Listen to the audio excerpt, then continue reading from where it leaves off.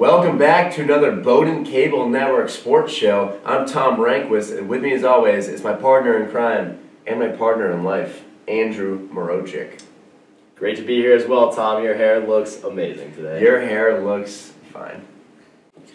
Tonight we are dropping pucks and shooting nuts as we head over to St. Sid Arena where your favorite and most inclusive Bowdoin sports team takes on the defending national champion Trinity College in this NESCAC matchup. After a slow start to the year, those kiddies have ditched the water wings and dove headfirst in the deep end.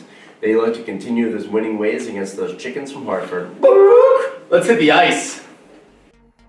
The action unfolds in this one like a well-paced thriller. Seven minutes in the first period, Walls glides into the offensive zone, zips a softie at the Trinity goalie, but the puck finds its way to junior Matt Sullivan. Matt Sullivan, we're like Mouse, huh, dude? As the Irishman nips at top cheddar to put Bowdoin ahead for a one-goal lead. Bowdoin keeps its foot on the pedal as that Antunez kid gives the do-si-do, but biffs the opportunity. The Polar Bears lead remains at one. The buck won't stop there. Sophomore Matthew Leeson tap dances his way into the Trinity zone, hits him with the whip, but cannot complete the nay-nay. The score remains 1-2-0. Later in the first period, didn't realize that Cronin's nickname was Raspberry Smuckers because he's been getting jammed with shots all night. Trinity ended up with 97 shots, but Cronin saved all but one of them. What a game. Late in the first period, Mitch Barrington with a rip city, but Jerry Antunes vultures the goal and puts it in. Does that kid even go here? I seriously have never heard the name my entire life. Bowdoin jumps out to a 2-0 lead.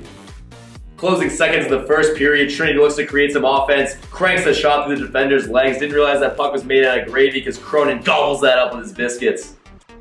Five minutes into the second, Bowdoin gets another opportunity, but that one sucked up by the Trinity goalie. Little male bonding in front of the net there. Could use a little stick glove shirt action if Russ Tyler's on the Bowdoin squad. The score remains 2-0.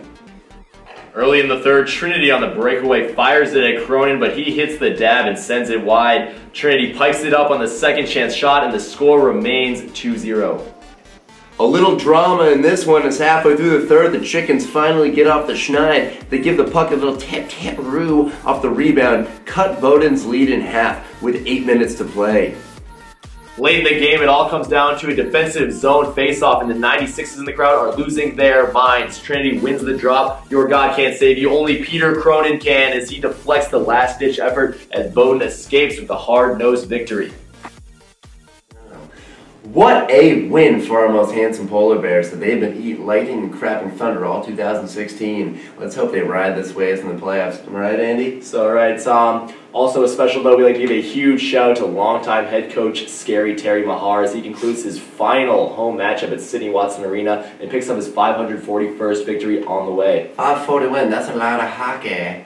Let's pivot now to some round balls. The Bowdoin Bears are fighting their way to the NESCAC tourney.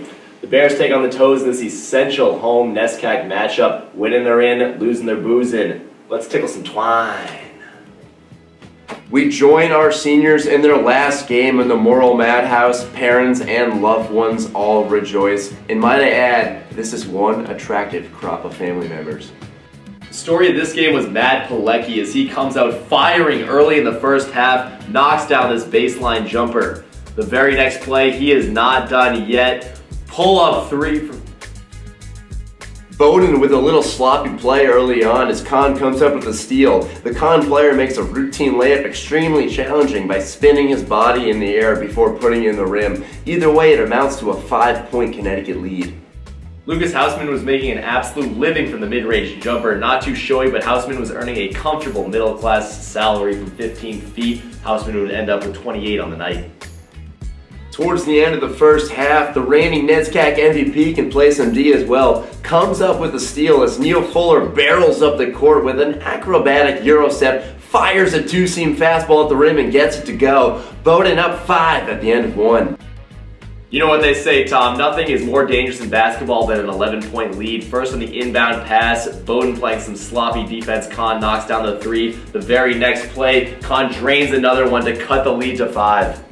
As Bowdoin's lead diminished, Tim On only grew more powerful as Tiny Tim buries the mid-range J, then comes back with two silky finishes. The freshman would finish with 10 points on the game and was pivotal in Bowdoin's second half surge. Five minutes left in the second half. A little senior to senior connection as Matt Pilecki slips it in the back door to Lucas Hausman, who finishes it with a silky finger roll. Conn would not go down quietly senior Bo McKinley gets the and one to fall. He, however, would miss the free throw due to the cheering from the stands about his shitty haircut. Bowdoin clings to the one point lead. One point game in the second half. Matt Pilecki must be handing out gift cards to Soul Cycle because he is leaving defenders spinning. Finishes with the up and under. Bowdoin takes the lead. Bowdoin thinks they're safe with a three point lead. However, Supercuts is not done yet. Hits the tough three in Lucas Hausman's face to tie it with three minutes to go. Lucas Hausman says there can only be room for one of us in this gymnasium. Buries the three right in the face of Supercuts. Bowdoin takes a three point lead. This game was all but in hand with a few minutes to go as player of the week Jack Simonds nicest way to the cup puts in a deuce. Bowdoin would go on to win this game and birth themselves into the NESCAC tourney. The Polar Bears bust their way into the NESCAC championship with that pair of Vicks. They travel to Amherst this weekend to take on the team formerly known as the Lord Jeffs. Formerly because he committed a genocide. That's all the time we have. It was good for me. I hope it was good for you. Thanks for stopping by.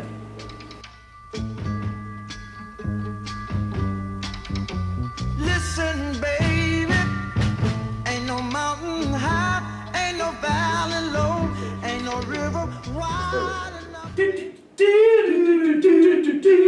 Good,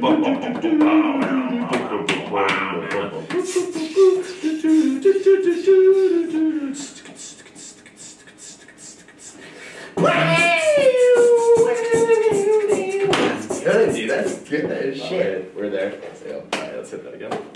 Low enough.